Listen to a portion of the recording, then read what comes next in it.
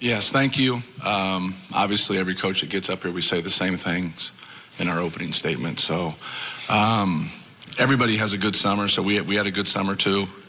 Um, you know, everybody's excited about it. So you know, we're excited about the season.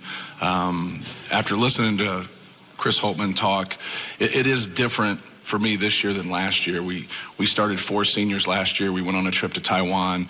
Um, we got a lot of basketball and we played, you know, 10, 11 real games in the summer. So it was different. Now we have a very um, more inexperienced team. So Carsen Edwards, obviously, as a second team All American last year, comes back. And um, anytime you can start a game and you feel like you got the best player on the floor, it's a good start.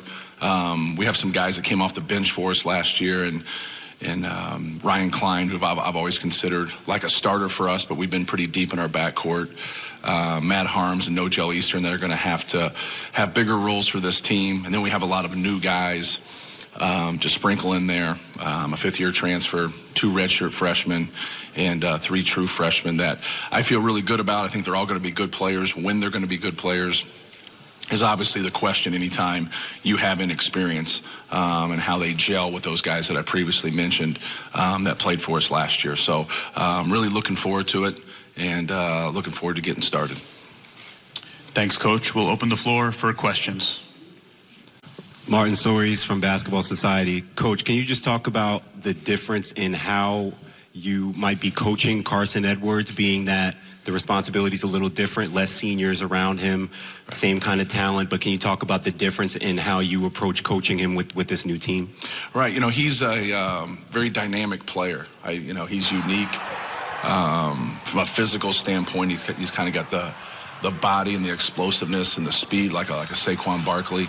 Um, you know, he plays through his offense. And so I think for guys like that, as you get older, you get more experience, you get more responsibility, but you don't change who you are. And uh, a lot of what he did last year, when he got it going, you know, we couldn't get it to him enough. But when somebody else got it going, you know, that's kind of the the piece that that's tough when you have that scoring mentality. You know, when Isaac Haas is, you know, burying people by the concession stand, you know, you got to get him the basketball. And Dakota Mathias was a really efficient player. Vince Edwards was a really efficient player.